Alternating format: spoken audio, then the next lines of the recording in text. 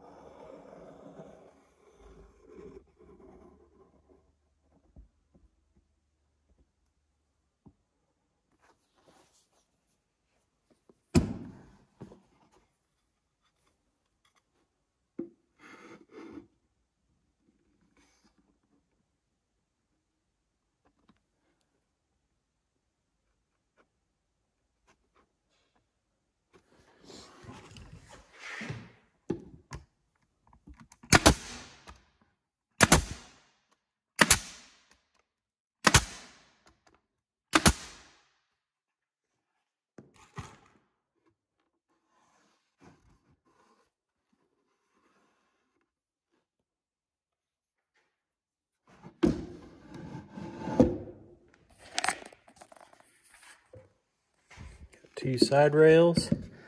I'll just do here and then we'll staple in these guys. And I'll do a cross piece too, I think, just for stability.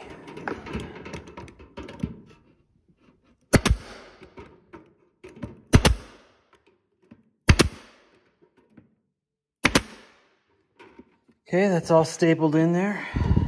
Looks good. So we will put our sugar, cake some sugar in there. And then I've got to figure out what I want to do to get my wood chips up in there. Get that sorted out. All right, what I decided to do is uh, create these little platform stems. That gives me about two and a half inches, so I can put about two inches of sugar or an inch and a half of sugar down in there. And then I'm gonna, my plan right now is to build a frame that I can set down in there across here. And so I'll use this wood, I think, unless I change my mind, and then cut another patch of this that I can just set in there. And then I can take my pillowcases and this and put it in here. And then I'll drill some vent holes up here to keep airflow coming across here, kind of like the attic in a house. So the wood chips are sort of kind of insulation, but at the same time moisture wicking and then with airflow across the top a little bit, just a little bit, it should keep moisture from down. So I built this frame and all I need is something to get me through this winter. And so let me check and make sure this lowers down in there. Perfect. So now I'm gonna put this stuff up on top and then uh, I'll be able to put the pillowcase on there and you can see that it has plenty of space to do the sugar. And I can lift this up. If it stays together pretty well, I'll just use it till it falls apart, and then I'll order those felt boards. All right, that looks good. I think we'll just set that right in there. And then I can do the pillowcase on top. And you can see there's plenty of space in there for to do the sugar. One down, one to go. I have to go buy more wood. Okay, I went out and took my table saw outside and ripped a bunch of these. So should have enough to assemble the next box. Here we go. Second base is built. Looks good. Okay, the second one's built. Let's see if that drops in there. Perfect.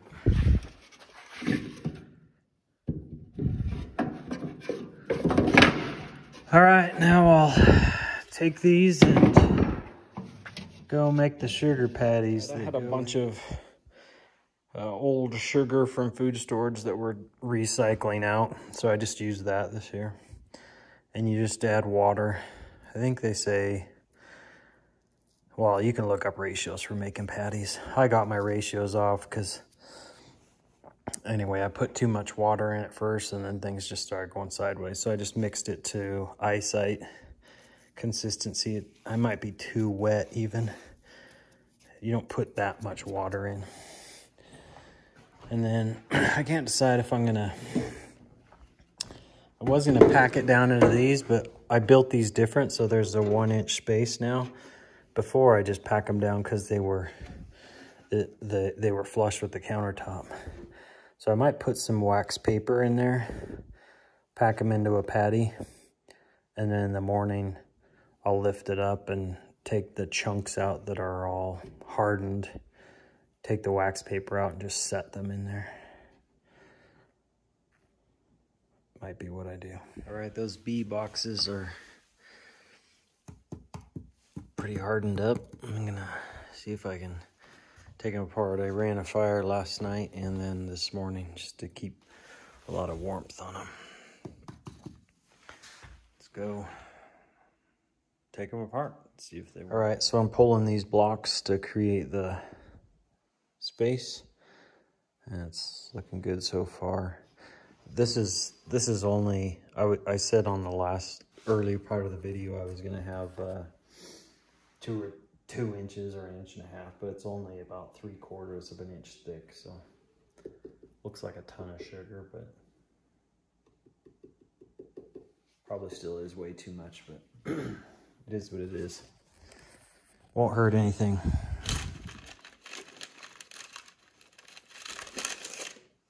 Okay, I didn't go through the whole sugar patty cake making process.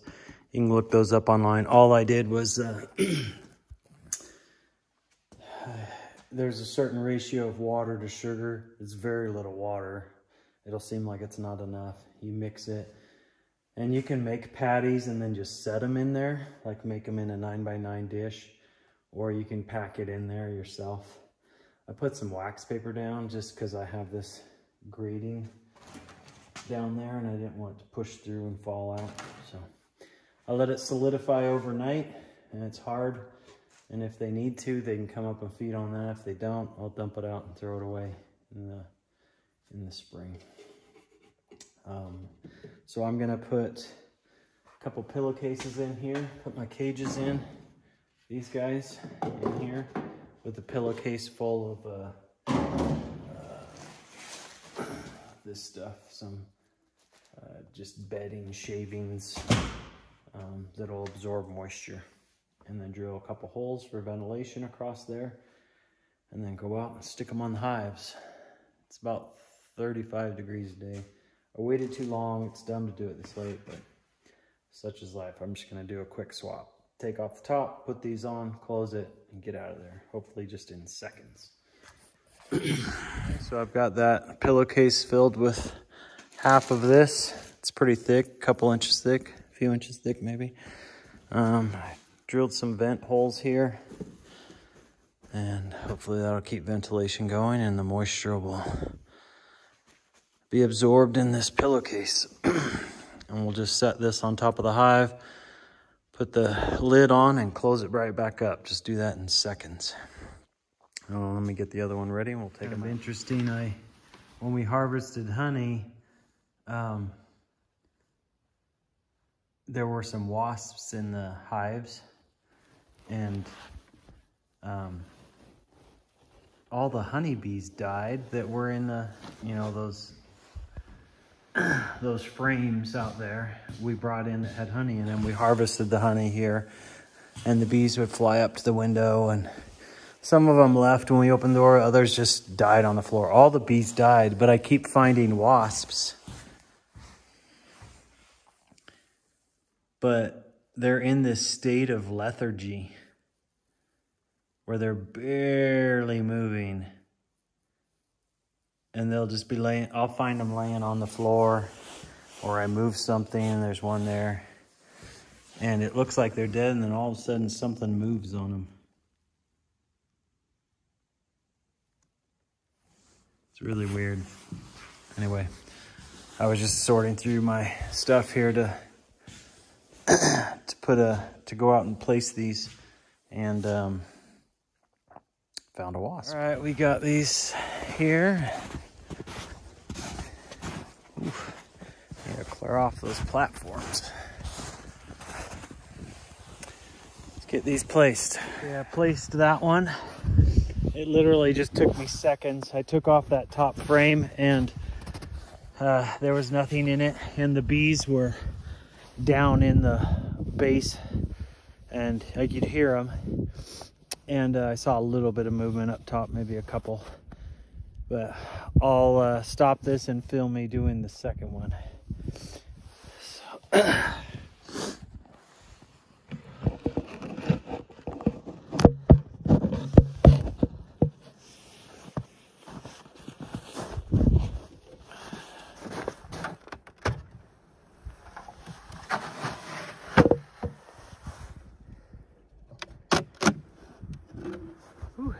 up at the top.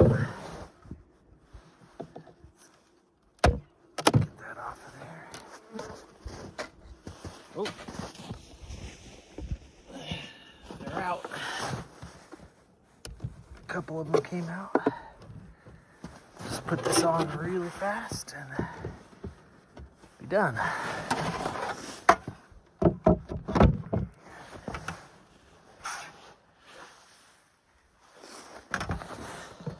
All right, so those were actually up at the top. A bunch of them were up in here. So those winter boxes are on and I hope that's helpful to them. So sun actually poked out. It's probably close to 40 degrees, so it's not too bad. And I should have done this earlier, but I was building that house for the last five months. But I'm glad to have it done. All right. So I'll probably uh, send this out to students as a field trip, putting the winter hives on, the winter box on the hives. And I, I bought hives this year that have a slot for ventilation. I drilled couple of holes in there on each side and then there's a little gap up in here. And then I have those pillows up top and the food in there so I should have more ventilation this year um, to keep the moisture content down. There's food in there and then there's that moisture wicking pillow up on top. So we should be good. Good for the winter.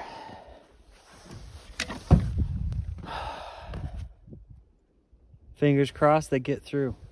Last winter started in like October and it was the never-ending winter and they finally died around early March late February. But hopefully these two get through and we have another really good season. A friend of mine offered to he owns a 400 acre farm that way. He used to dairy farm till a few years ago. It was 100 I'd taken you there on a field trip jed heap maybe i'll resend those out because it's kind of a cool field trip Um, but he uh, he offered to have me bring the hives up to his farm out in the middle where there's tons of different types of trees and he's got different crops and stuff for next summer. And we might do that and I'll make some more field trips with my bees up there at the farm. Because we'll see. Got to get them through the winter first. All right, guys. Fun, fun.